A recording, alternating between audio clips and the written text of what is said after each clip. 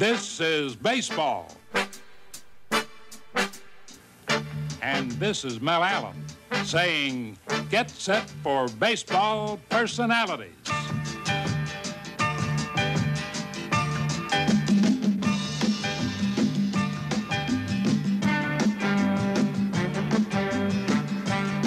Swing into baseball action.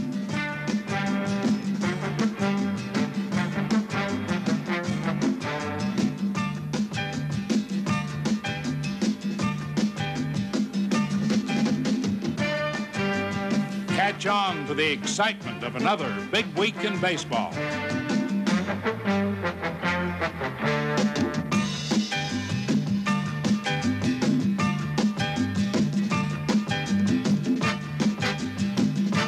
Let's bring it all home. This week in baseball. We're here at PNC Park with the skipper of the Mountaineers, Randy Mazey, as we go around the horn, all thanks to our friends at Coca Cola. Big League Ballpark, and uh, felt like a, a, big league crowd there, all on their feet, and able to uh, grab that win over Penn State. Randy, uh, how fun of an experience was this for you, being a Johnstown guy? I know you grew up uh, rooting for, for Penn State as a kid, but uh, for your guys to come in here and, and play at a big league ballpark and get this win. That's that's a lot of fun because we got the win, you know, for me. But for the kids, that's that's an unbelievable experience, you know, to get to share the same mound that guys like Mariano Rivera pitched on and and other great pitchers. And the hitters get to stand in the same batter's box as the guys that they idolize, you know.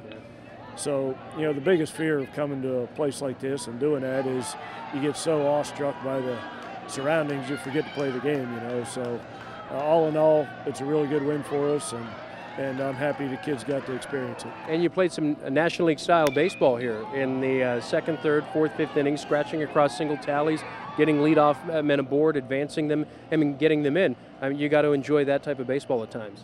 Yeah, you're in a big league park, got to play like a big league team, right? So, uh, yeah, it's uh, we got that team that's capable of doing that. You know, Darius Hill's hitting fourth in the lineup, laying down sacrifice bunts to to get runs across, and uh, we have unselfish guys, and that's why we're able to win games like this. Yeah, Chase Illig also a couple of different uh, run-producing hits, a single and a double. Now it's a big three-game weekend series in the non-conference against Gardner Webb. Final uh, regular season series of the year.